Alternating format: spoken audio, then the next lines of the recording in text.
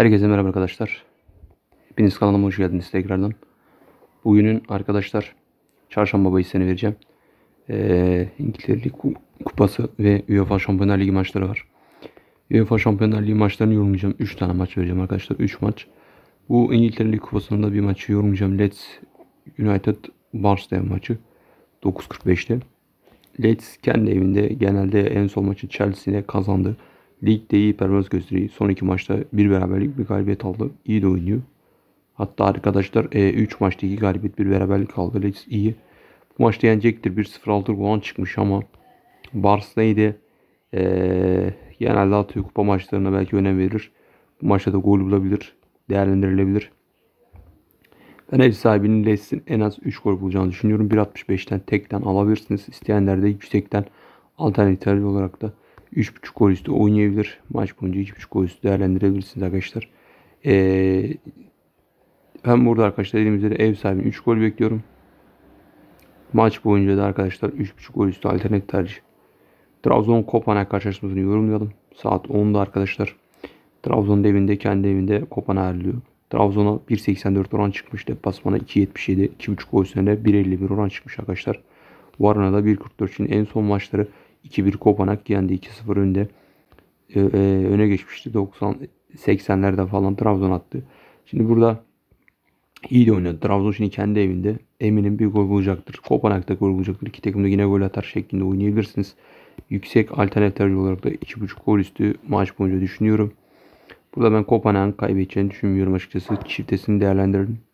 1.44 oranı var. Hatta deplasman galibiyeti alternatif sürpriz ve arkadaşlar ama sürpriz çıkmaz ama riskli ama değerlendirilebilir. Kopenhag deplasmanda ne yapar? Genelde deplasmanlara kazanmış liginde ama e, Trabzon seyircisi önde bilmiyorum yani iki takım da gol atar arkadaşlar. En güzel bahis arkadaşlar. Maç boyunca da e, 9.5-10 korner 1.61'den değerlendirin.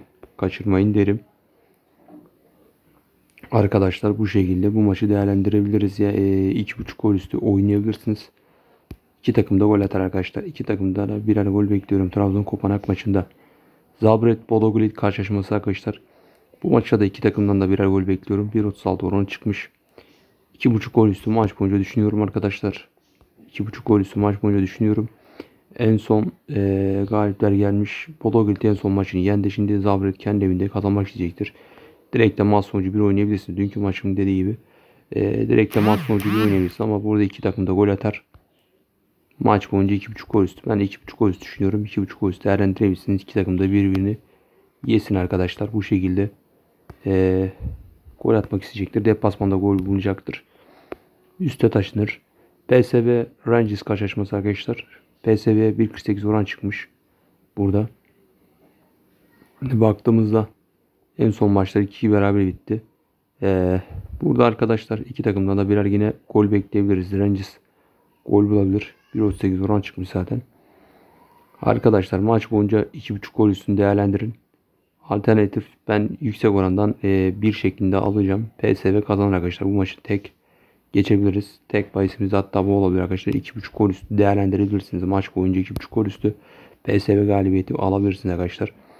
E, oran yükseldiğinde kadar o şekilde 1 ve 2.5 gol üstü alabilirsiniz. 1.90'da oranı var. Çok güzel.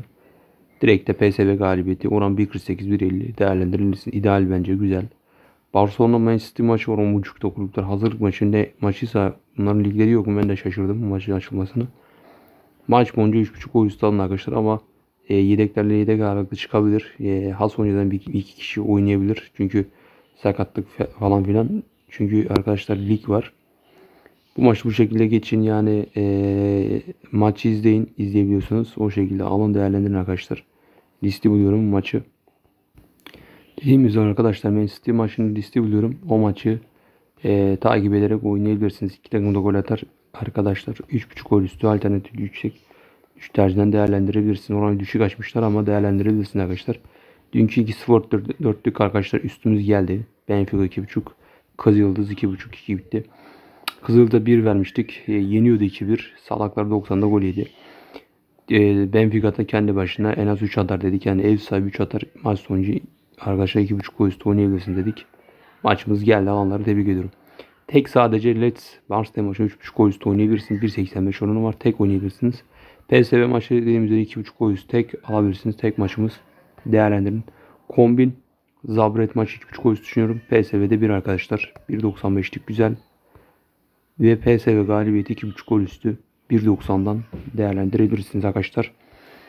E, Trabzon maçta arkadaşlar iki takım da gol atar. Maç boyunca 2.5 gol üstü olacağını düşünüyorum. Bu şekilde maçlarımız arkadaşlar. Günün çarşamba bahisleri bu şekilde. Lütfen kanala abone değilseniz abone olup bildirimleri açmayı unutmayın. Lütfen arkadaşlar kanala desteklerinizi bekliyorum. Videolarımızı paylaşmayı unutmayalım. Herkese bol şanslar, bol kazançlar.